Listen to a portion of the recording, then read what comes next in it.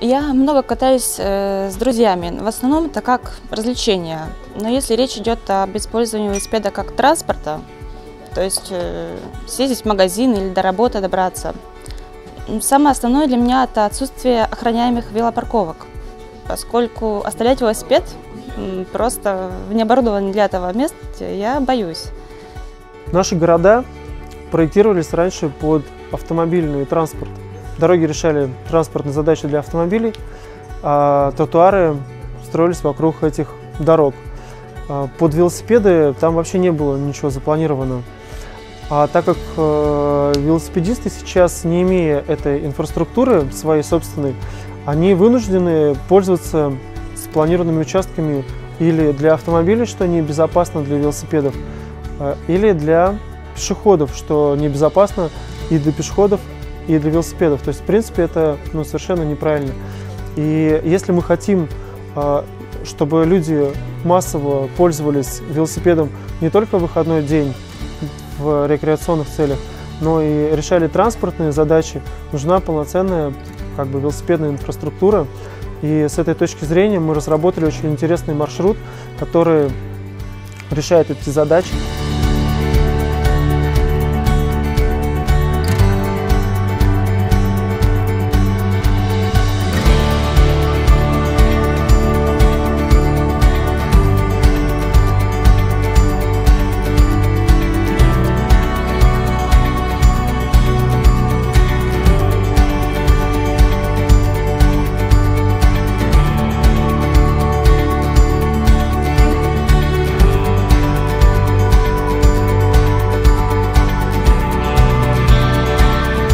Вопрос о возникновении в нашем городе велодорожек возник уже давно.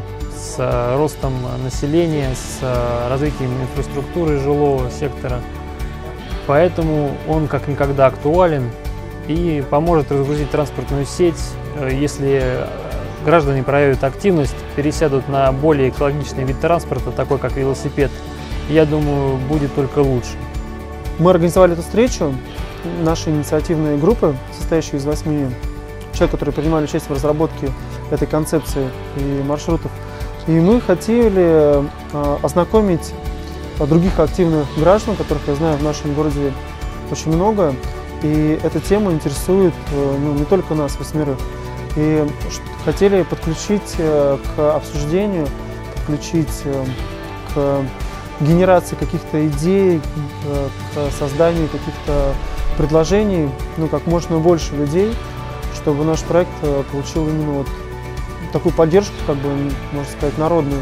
Стоит сделать такую велодорожку, которая будет привлекательна для всех возрастных категорий граждан, которая будет привлекать э, граждан из других городов для, ну, с точки зрения туризма. Наш проект, он подразумевает не просто создание велодорожек для одной категории людей под названием велосипедисты, а наш проект подразумевает вообще такое преображение города для людей, которые не пользуются автомобилями.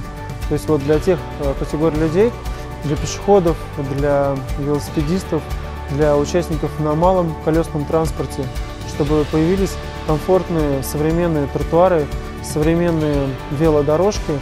И самое главное, тот, э, что э, наш проект, он затрагивает еще рекреационные зоны, это лесные массивы в черте города.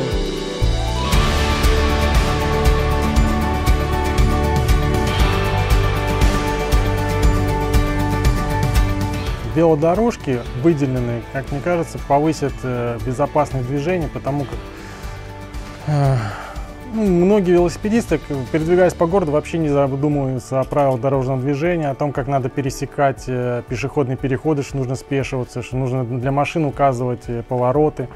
Вот. И э, велодорожки в нашем городе должны разграничить трафик велосипедистов и трафик автомобилей, соответственно, повысить безопасность движения как, как бывалых, так и начинающих велосипедистов, особенно если детей, которые вообще ну, любят ездить по городу, как мы знаем, в любых направлениях.